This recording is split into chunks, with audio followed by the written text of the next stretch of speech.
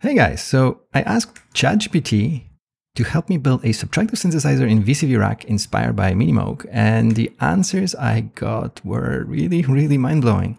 So I wanted to share this with you. First of all, I got very specific set of instructions how to build that thing. Almost everything checks out. Very, very impressive. You know, if you walk, you know, point by point, it actually makes sense. You can you can build a voice already from from this first response. Uh, one thing that caught my eye was the fact that it suggested only one VCO. Um, and, you know, Minimoog is three oscillator design. So I pressed it on, on, on that, say, hey, close, but the original Minimoog was not a one oscillator synth. And this is mind blowing. You're correct. My apologies. The Minimoog is a three oscillator synth. And here's how to build it. So now it adds two more VCOs to the design. And this is what really impressed me. Not only it adds VCOs, but it knows you, you got to add a mixer. Um, anyhow, you can follow this, this thing and everything checks out. Uh, I pressed it um, harder on point seven because it, it wants to connect this module MIDI to CV, to VC, VCO, LFO, and envelope, which is not wrong, but I want to be more specific, like which outputs, you know, what, what do you mean by that? So I ask it, can you specify, you know, exactly which outputs? So now we're going to details, right? So we have a design and now it can help me specify exactly, you know, how this design should work. And, and, and these two first two points are correct. Um, volt per octave, right? And then gate. So, so this is what we expect. The third one was kind of off because the third output, I'm assuming, it's velocity. And I normally don't see velocity going to LFO. So again, I, I said, I'm confused. Can you, can you explain more? We are going more into details. This is another thing that, that is very, um, very impressive because once I asked this follow-up question, it kind of GPT kind of figure out, okay, I think I made a mistake. Maybe it should not be control. Uh, it, it, should not go to LFO. Maybe it should go to VS VCA, which this is actually better direction, right? This is we usually see velocity having some kind of influence influence on VCA, although there are usually some modules in between, either utility scalers or uh, whatever um, ADSR. So I asked GPT about that, right? It's like, how would you really connect it? Would you put any modules in between? Um, I got some kind of general answer. It was not great. Uh, I also noticed that it kind of doesn't know exactly that we're talking about this VCA because it could be CV uh, output, which is correct, or modulation, right?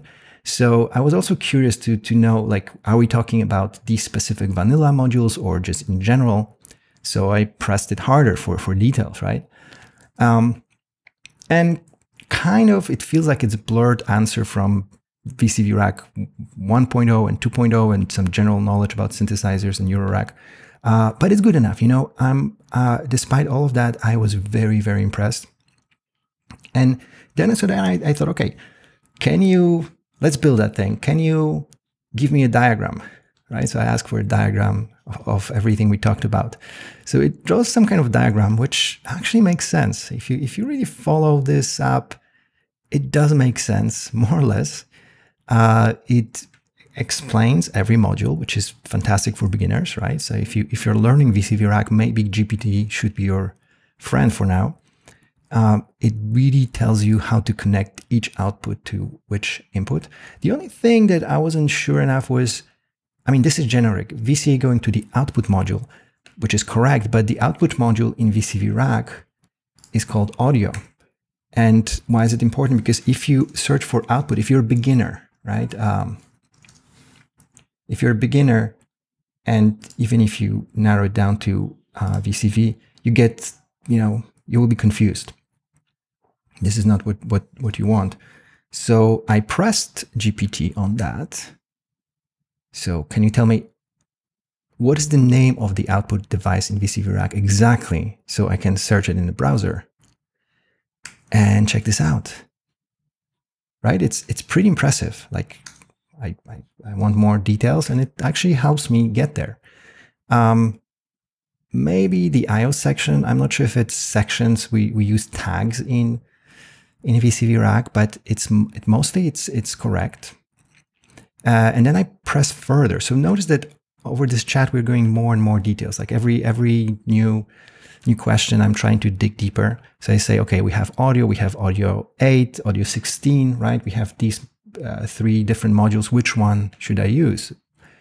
Um, and it correctly explains each of these that this is stereo, this is 8 channel, this is 16 channel. Very, uh, very impressive. And at that point, I thought, okay, so this is interesting because this is a new module in VCV Rack 2. And VCV Rack 2.0 was released at the end of 21. And that's exactly around the time when ChatGPT cutoff date uh, was. It was 21. So everything that happens after 2021, ChatGPT doesn't know about. It was trained on everything that was available before that date. So I ask, okay, which version are we talking about? And it tells me 1.0. Uh, but I think what happens is that ChatGPT 2.0 is already available on GitHub and all other platforms in beta and, and stuff like that. So, so maybe ChatGPT already had access to to uh, 2.0, or maybe it was simply you know confabulating and, and got me the right answer. Anyway, that, that, I, I think it's an interesting quirk. Um, and uh, the last question Okay, so this, this guys, you have to check, check this out. It's, it's very funny. So I asked for any third-party modules that I could use to build this version of Minimoog. I was expecting to get maybe some recommendations for better filters or some analog sounding, you know, VCOs and stuff like that. And it gives me a list of modules in each category that I could use. And they are all fine, except, check this out. They're all, literally every single module, they're all Eurorack. So I'm saying, okay, are you sure these modules are available in VCV Rack? Because I have a feeling that you're a bit confused right now. Uh, apologies, apologies, apologies. You're correct. These modules are Eurorack format. So notice that I didn't even suggest that it's Eurorack. I said, are you sure? And it looks back and it's like, oh, oops, sorry. These are Eurorack modules. Um, so I, at this point, I was extremely impressed. Okay, was, I was like reading it and, and waiting for the answer until it kind of goes back to Eurorack. So this is this is I mean this, and it's funny thing. It's it crashed eventually. So it gives me those weird. I mean, it, and this point I feel obviously these are real modules, but uh, you know, two brand, two, three, two, three brands, and boom, crashes. So I ask, "Are you crashing?" It says no, uh, but uh, I, you know, I can't crash, but I do make mistakes and stuff like that. But anyway, I think this uh, this um, is a great demo of you know how how we might be using AI in the future. Um, because now it's obviously you know you can't rely on that.